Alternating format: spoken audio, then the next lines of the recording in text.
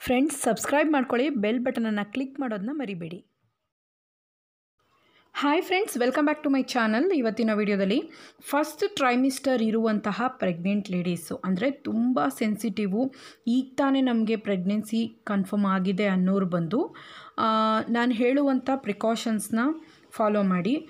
ಈ ಟೈಮಲ್ಲಿ ತುಂಬ ಸೆನ್ಸಿಟಿವ್ ಇರೋರಿಗೆ ಬಂದು ಭ್ರೂಣ ಸ್ವಲ್ಪ ಸ್ವಲ್ಪನೇ ಸ್ವಲ್ಪ ಸ್ವಲ್ಪನೇ ಡೆವಲಪ್ಮೆಂಟ್ ಆಗ್ತಾ ಇರುತ್ತೆ. ಇಂಥ ಟೈಮಲ್ಲಿ ತಿನ್ನುವಂತಹ ಹಣ್ಣಿನ ಬಗ್ಗೆ, ಊಟದ ಬಗ್ಗೆ ತುಂಬಾ ಗಮನ ಇರಬೇಕು. ಯಾಕಂದರೆ ತಿನ್ನುವಂಥ ಊಟ ಕೂಡ ಪರಿಣಾಮವನ್ನು ಬೀರುತ್ತೆ.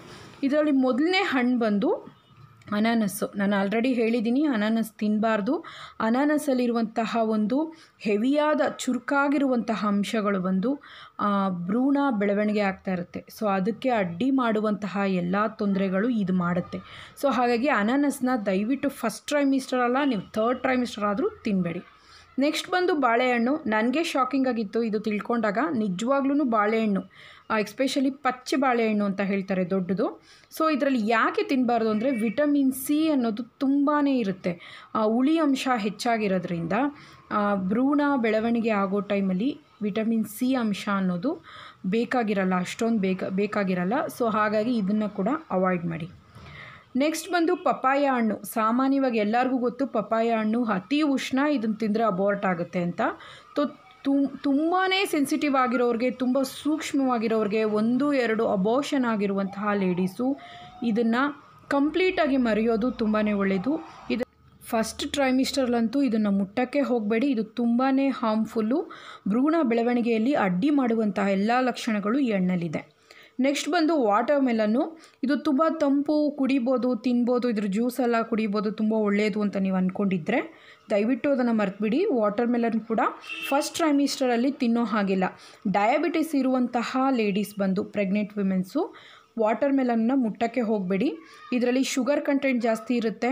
ಆದರೆ ಇದು ಕೂಡ ಹಾರ್ಮ್ಫುಲ್ಲು. ಫಸ್ಟ್ ಟ್ರೈಮಿಸ್ಟರಲ್ಲಿ ಮಗು ಬೆಳವಣಿಗೆಗೆ ಹಾರ್ಮ್ಫುಲ್ ಅಂತ ಹೇಳಲಾಗ್ತಾ ಇದೆ. ಸೊ ಹಾಗಾಗಿ ಇದನ್ನು ಕೂಡ ಕಂಪ್ಲೀಟಾಗಿ ಬಿಡೋದು, ಅವಾಯ್ಡ್ ಮಾಡೋದು ತುಂಬ ತುಂಬಾ ಒಳ್ಳೆಯದು ನೆಕ್ಸ್ಟ್ ಬಂದು ಫ್ರಾಝನ್ ಬೆರೀಸು. ಫ್ರಾಝನ್ ಬೆರೀಸ್ ಅಂತಂದರೆ ಫ್ರಿಜ್ಜಲ್ಲಿ ತುಂಬಾ ಕೂಲ್ ಮಾಡಿ ತಿನ್ನುವಂಥ ಬೆರೀಸು.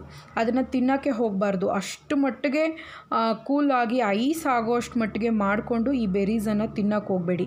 ಆದಷ್ಟು ಈ ರೆಡ್ ಬೆರೀಸ್ ಆಗಲಿ, ನೀವು ಬ್ಲೂ ಬೆರೀಸ್ ಆಗಲಿ, ಇವೆಲ್ಲ ಕೂಡ ಫಸ್ಟ್ ಟ್ರೈಮಿಸ್ಟರ್ಲಿ ಸ್ವಲ್ಪ ಅವಾಯ್ಡ್ ಮಾಡೋದು ತುಂಬಾ ಒಳ್ಳೆಯದು ಯಾಕಂದರೆ ತುಂಬಾ ಕೂಲ್ ಆಗಿರೋದ್ರಿಂದ ಇದರಲ್ಲಿ ತುಂಬಾ ಹೀಟಿನ ಅಂಶ ಇರುತ್ತೆ. ತುಂಬ ಕೋಲ್ಡ್ ಅನ್ನೋದು ತುಂಬ ಹೀಟು ಸೊ ಹಾಗಾಗಿ ಇದನ್ನು ಕೂಡ ನೀವು ಅವಾಯ್ಡ್ ಮಾಡಿ.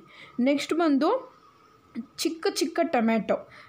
ಇದನ್ನು ಬಂದು ಸಣ್ಣ ಸಣ್ಣ ಟೊಮ್ಯಾಟೊ ಹಳ್ಳಿಗಳಲ್ಲಿರೋರಿಗೆ ತುಂಬಾ ಗೊತ್ತಿರುತ್ತೆ.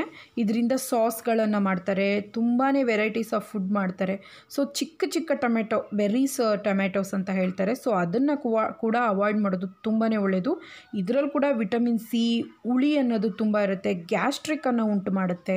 ಇವೆಲ್ಲ ತಿಂದಾಗ ಏನಾಗುತ್ತೆ ಅಂದರೆ, ಈ ಫ್ರೂಟ್ಸ್ ಎಲ್ಲ ಮತ್ತು ಇನ್ನೇನು ತಿನ್ನೋದು ಅಂತ ಕೂಡ ನೀವು ಕೇಳ್ಬೋದು. ತಿನ್ನೋದಕ್ಕೆ ತುಂಬ ತುಂಬಾ ಒಳ್ಳೆಯ ಹಣ್ಣುಗಳಿವೆ. ಸೊ, ಹಾಗಾಗಿ ಈ ಹಣ್ಣುಗಳನ್ನೆಲ್ಲ ದಯವಿಟ್ಟು ನೀವು ಅವಾಯ್ಡ್ ಮಾಡಿ, ಊಟದಲ್ಲಾಗಲಿ, ನೀವು ಮರೆತು ಕೂಡ ಈಚೆ ಹೋದಾಗ ಕೂಡ ಇದನ್ನೆಲ್ಲ ತಿನ್ನೋಕೆ ಹೋಗಬೇಡಿ. ಸಾಸ್ ಆಗಲಿ, ಇದರಿಂದ ಮಾಡಿರುವಂತಹ ಯಾವುದೇ ಉತ್ಪನ್ನ ಆದರೂ ನೀವು ಒಂದು ಸ್ವಲ್ಪ ಕೂಡ ಟೇಸ್ಟ್ ನೋಡಬಾರ್ದು. ಯಾಕಂದರೆ ಇದರಲ್ಲಿ ತುಂಬಾ ವಿಟಮಿನ್ ಸಿ ಇರುತ್ತೆ, ತುಂಬ ಹಾರ್ಮ್ಫುಲ್ಲಾಗಿ ಅನಿಸುತ್ತೆ.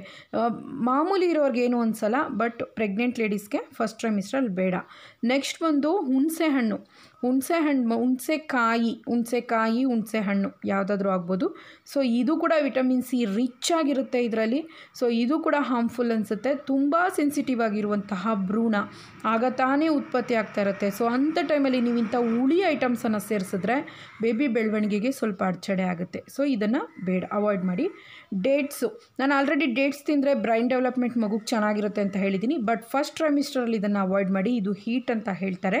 ಸೊ ಹಾಗಾಗಿ ಫಸ್ಟ್ ಟ್ರೈಮಿಸ್ಟರ್ ಆದಮೇಲೆ ನೀವು ಡೇಟ್ಸನ್ನು ದಿನಕ್ಕೆ ಒಂದು ನಾಲ್ಕು ಡೇಟ್ಸನ್ನು ತಿನ್ನೋದು ಒಳ್ಳೆಯದು ಸುಮಾರು ಜನ ಕಮೆಂಟ್ ಮಾಡಿದ್ದೀರಾ ಅಂಥವ್ರಿಗೆಲ್ಲ ನಾನು ಅದೇ ಹೇಳಿದ್ದೀನಿ. ಫಸ್ಟ್ ಟ್ರೈಮಿಸ್ಟರ್ ಆದಮೇಲೆ ಒಂದು ನಾಲ್ಕು ತಗೊಳ್ಳಿ ಅಂತ.